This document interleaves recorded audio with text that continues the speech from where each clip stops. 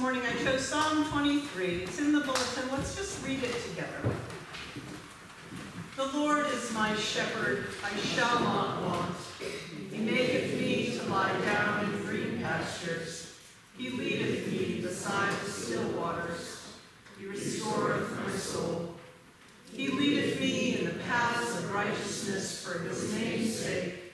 Yea, though I walk through the valley of the shadow of death, I will fear no evil, for thou art with me. Thy rod and thy staff, they comfort me. Thou preparest a table before me in the presence of my enemies. Thou anointest my head with oil. My cup runneth over. Surely goodness and mercy shall follow me all the days of my life, and I will dwell in the house of the Lord forever. Amen. Amen. Amen. Amen.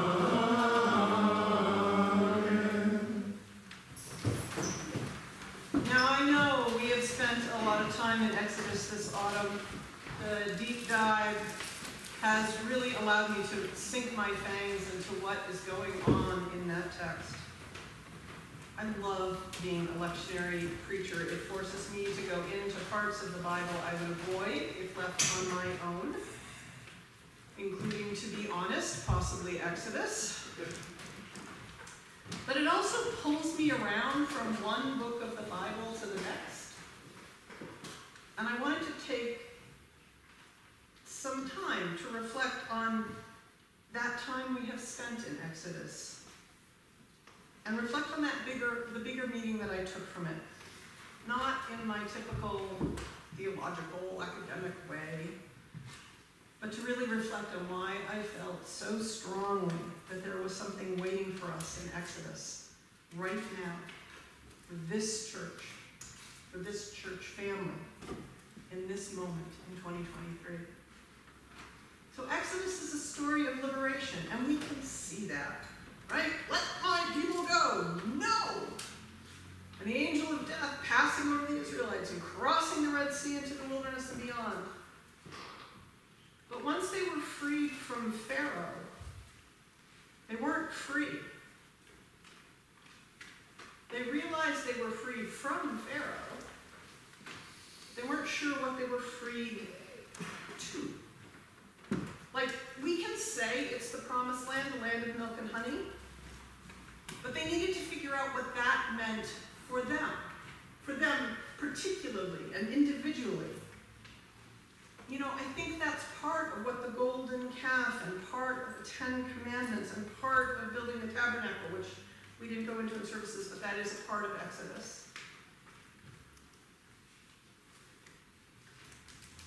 If we have been freed to make God's presence a deep and important part of our lives, that's great.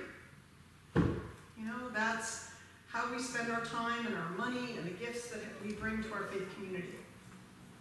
You know, heaven knows that attending church is not expected or required socially now, if it ever was.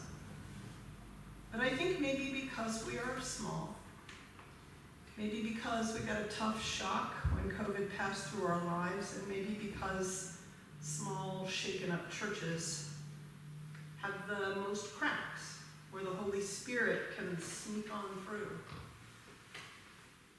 We're going to get to reflect on what we're freed towards. And it can feel like this journey is so hard because we're not worthy or we're headed in the wrong direction, that there is something broken in us that we can't make the old model work anymore, especially because we want it to work, because it's what our ancestors had and it worked well with them all the way back to Joseph and his father Jacob. I think the story of Exodus is there to remind us that no matter the bumps, no matter the bruises, right? No matter the scars, the truth is that the cross has made us flawless. Now, another thing that I saw in the Exodus story is how long everything took.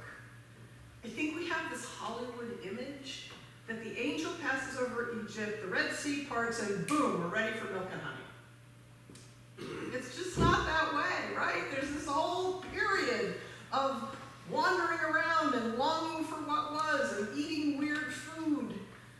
They wash up around Mount Sinai and then the wheels fall off completely. No one would blame God for walking away and picking a whole other group of people to covenant with. And yet God didn't. God stayed with them and gave them another chance. Another million billion chances. And they and we have needed every single one of them. Exodus shows us how long it takes to believe that God chosen us. And we keep wobbling between thinking we can control everything, in which case we don't need God, or we're such a hot mess that God wouldn't want anything to do with us. It takes such a long time, such a long, long time in the wilderness before we begin to believe that God wants us, wants justice, wants us to trust the process. The of Exodus is there to remind us to lay down our burdens and to lay down our shame. All of us are broken. And we need to lift up our face. We need to come home. We are not too far. So we can lay down our hearts and come as we are. Finally, the Exodus story shows how we live in this world given God's presence. Yes, sure. There are miracles, right? The burning bush, the ten plagues, the angel passing over, the Red Sea parting, uh, manna from heaven, water from the rocks. Moses' face glows after he's talked to God. There's a lot in there. God speaks to the whole people, not just to one prophet, not just to one king. God speaks to everyone. Freaks them out, but speaks to them.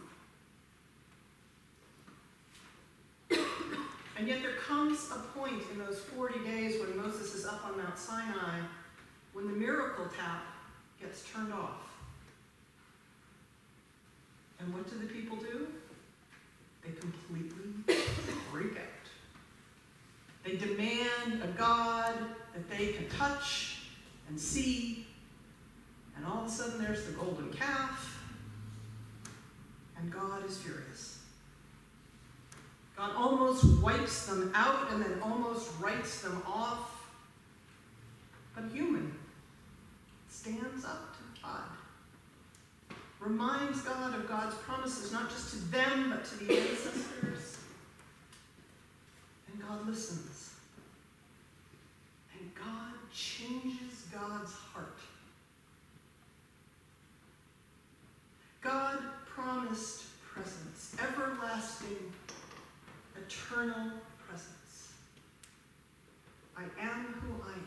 I will be who I will be. That is God's name.